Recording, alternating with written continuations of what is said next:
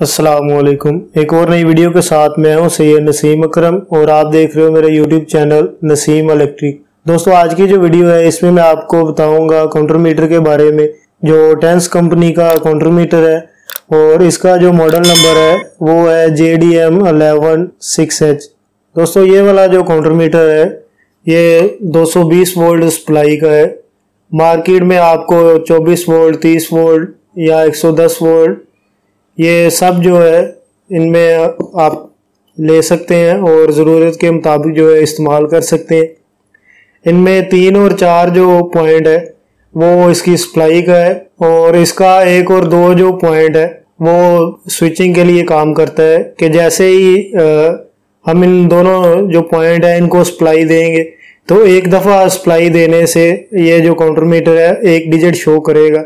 और जैसे जैसे हम इसको जितनी दफ़ा सप्लाई जो है वो ऑन ऑफ़ करते जाएँगे तो इतने ही डिजिट ये जो है डिस्प्ले मीटर पर काउंट करेगा। ये काउंटर मीटर जो है कैसे काम करेगा, इसको मैं आपको इसकी जो वायरिंग है, वो करके तो आपको दिखाता हूँ कि ये वाला हमारा जो काउंटर मीटर है, ये किस तरह काम करता है। दोस्तों, इसके पॉइंट के मुताबिक जो वायर है, वो मैंने लगा ली है।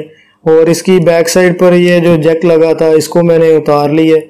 और जैक जो है, इस पर मैंने जो वायरिंग है, इसकी वो कुछ इस तरह की है कि न्यूट्रल वायर जो है और फ़ेज़ तीन और चार जो पॉइंट है उन पर लगा दिए।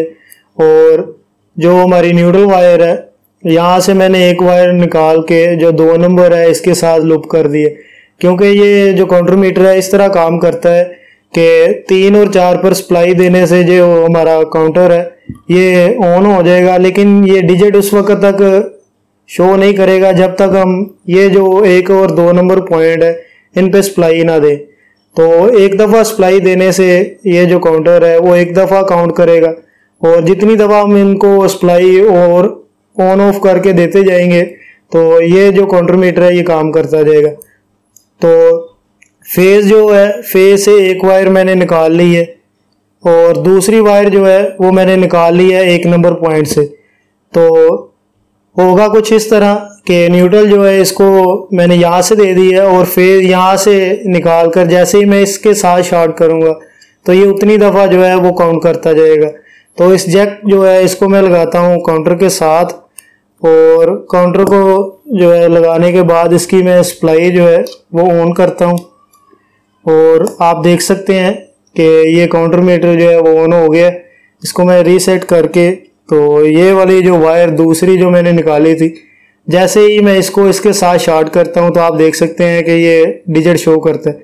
और जितनी दफ़ा मैं इसको शार्ट करते जाऊँगा, ये उतनी दफ़ा जो है वो काउंट करता जाएगा डिजिट जो है आगे बढ़ाता जाएगा। तो दोस्तों, आपने देखा कि जो हमारा काउंटर मीटर है जे डी एम अलेवन इसको ऑपरेट करना कितना आसान है। और ये काम इसी तरह करता है कि पहले जो इसके पॉइंट हैं, वो सप्लाई के हैं और दूसरे जो और दूसरे जो पॉइंट है वो स्विचिंग के हैं, कि जैसे ही हम इसको वायर जो है वो टच करते जाते हैं तो ये वाला हमारा जो काउंटरमीटर है, ये सेंस करता जाता है। तो दोस्तों, आपने देखा कि J D M eleven six H जो है इसको ऑपरेट करना कितना आसान है। और उम्मीद करता हूँ कि आप जो जे डी एम अलेवन है इसको ऑपरेट करना सीख गए होंगे।